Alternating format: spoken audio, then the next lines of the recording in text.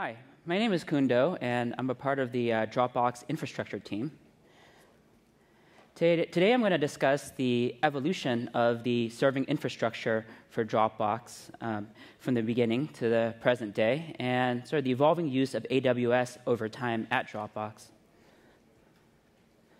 So, a quick history lesson. Um, in the beginning, well, in the beginning of Dropbox anyway, there was the server. Dropbox started, like most uh, services, fairly modestly because you know, we're just getting off the ground. In early 2008, we uh, had already had 50,000 users. We were in early beta, still getting the kinks out, and at that point, we already had two kind of chunks of machines. Before I go into the details of those, it's first like uh, useful to think about what files are. Files consist of metadata and file data. So the metadata was stored in a MySQL instance, which uh, was behind a metadata server, and both of those were hosted in managed hosting because early 2008 EC2 was a little challenging for MySQL database. In AWS, we hosted the file data. So every file uploaded to Dropbox by a user is split up into chunks, encrypted, and stored in S3. The file data server sits between S3 and our users to provide vital um, functions such as authentication. The file data server was sort of an ideal case for EC2 because, well, for one thing, the file data, it made sense to store all that amount of data and what we hoped would be an ever expanding set of data in S3 and the bandwidth between S3 and EC2 is free, so we only paid once for the bandwidth going out from the file data servers to our users. Also, the file data servers are stateless, so we were able to spin up and down EC2 instances according to user traffic, which in the early, especially in the early days of Dropbox, when we were a um, cash-strapped startup, was a pretty big deal in terms of managing costs. Like anything else, though, AWS had its, had its issues. We had unexplained problems. We had kernel crashes. We had variability in I/O and network performance. At one point in time, 1% of the um, instances that we had in EC2 failed in a given day, which took a lot, big toll on our team. And hot failovers, while a very good idea in general, were really expensive in AWS. And again, we didn't have a whole lot of cash on hand at that point.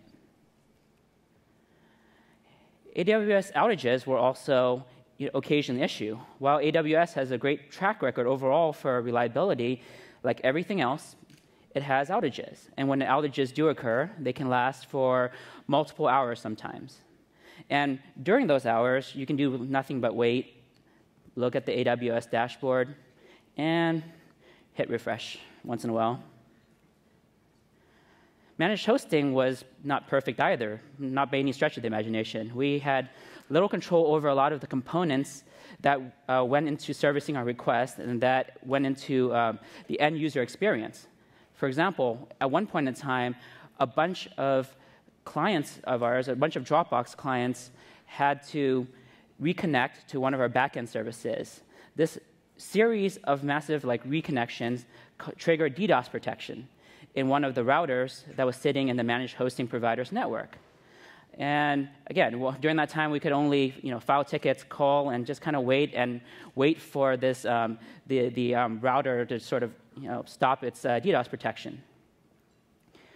In a number of cases, we wanted more configurability on our boxes. For example, MySQL likes memory. Like the InnoDB buffer pool, like um, generally performs really well when you add more and more memory to it.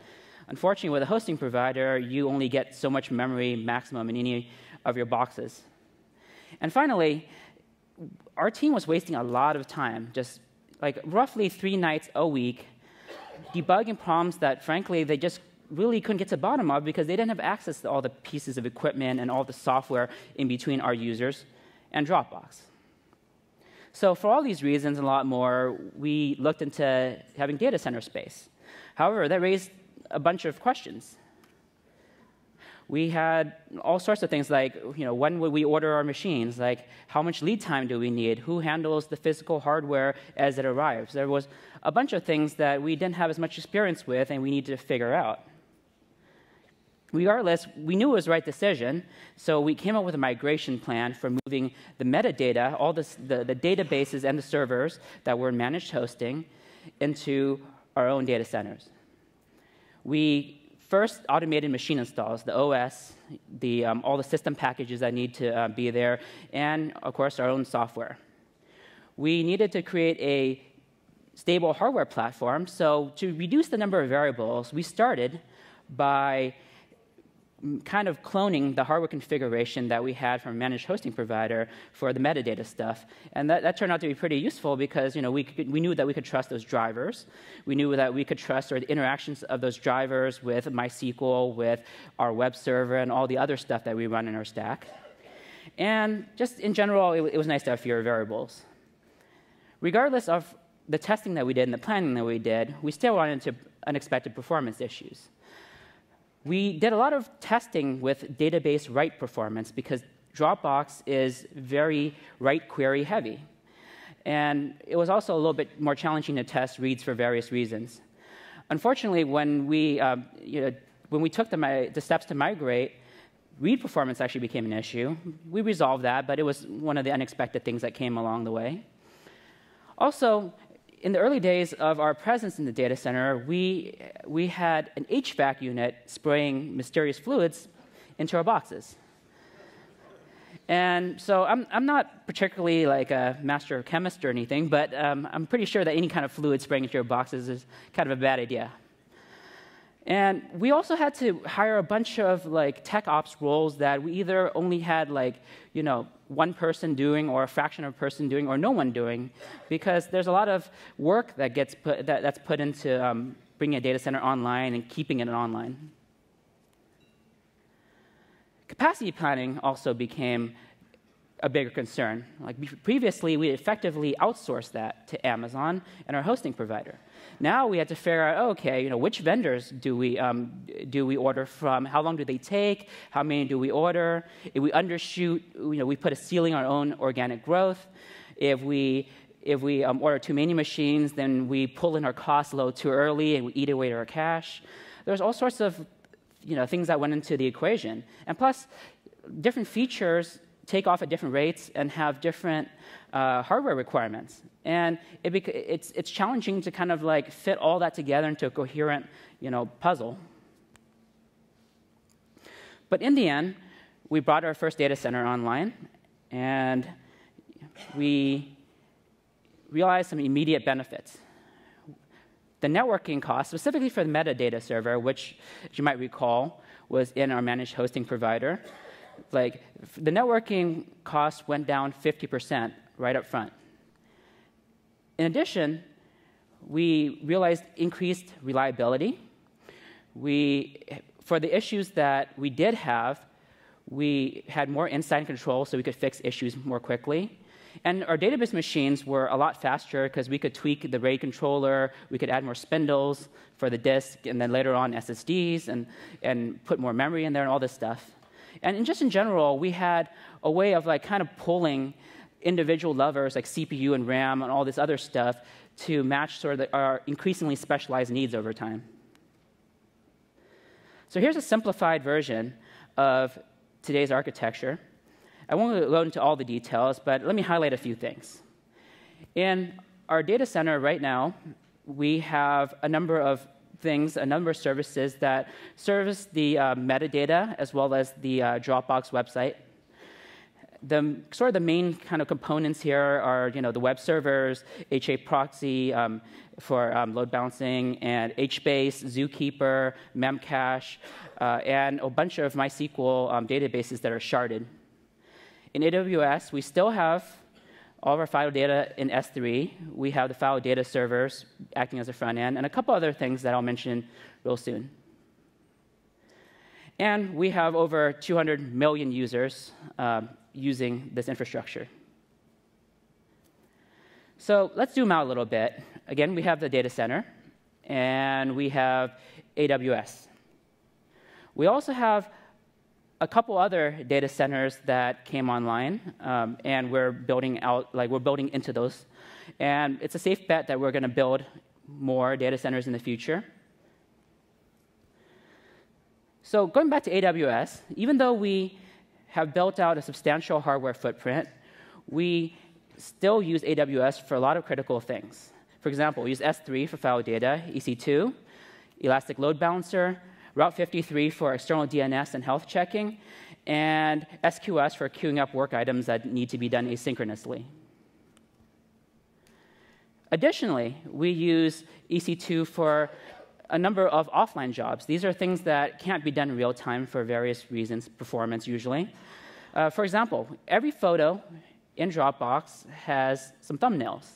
When we started pre-generating those thumbnails for, um, for Dropbox photos, we had to process all existing photos. So we spun up a couple thousand EC2 instances. We let them crunch the data for a couple of weeks uh, and extract thumbnails from the photos. And at the end of those couple of weeks, we spun them down and we incurred no further costs. This was sort of an ideal scenario for EC2. AWS still has its challenges to this day, though. Like, it would be particularly challenging, I think, to replace all of our physical machines with EC2 instances because each physical machine can do quite a bit more QPS for whatever service than the equivalent than the closest equivalent EC2 instance. And so we'd have we'd have to use a lot more EC2 instances. And when you, use, when you do that, when you introduce more instances, you have a lot more potential for issues in general. In the case of databases, because each instance is less powerful, we need to shard the database more ways, and we'd have more failure points, possibly. And it would just be more of like a lot of different kind of maintenance costs. You also can't really escape the hypervisor uh, between the software and the hardware. And it's tough to reason through all the different performance characteristics and reliability characteristics of the hypervisor because you just don't have any insight into it.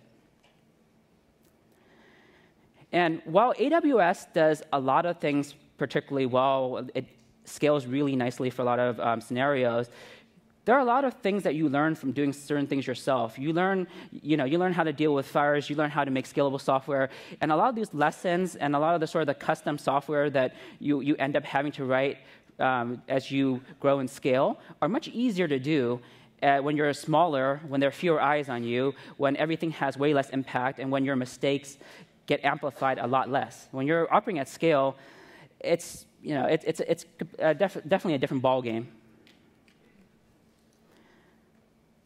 So in the end, we end up using the right tool for the job. The hybrid model is right for Dropbox's particular set of needs. We use AWS for storing all the file data. We use a bunch of the very solid and scalable Amazon Web Services. We use the elasticity of EC2. For our dedicated hardware, we make use of the raw individual machine performance, the control over all the different pieces of, of, of, the hardware configuration, and the visibility we have into every component that sits, every component at least within our network boundaries. And the lower cost, especially when you, when, you, when you count things like specialized hardware, when you want like a machine with 128 gigabytes of memory, a couple dozen cores, that, that kind of power, it's, it's, it's much um, cheaper to go um, with your own hardware. So thank you for listening to the talk. And we have a, Dropbox definitely has a, a, nice big booth. So please visit us, chat with us about tech ops stuff or life in general. Thank you.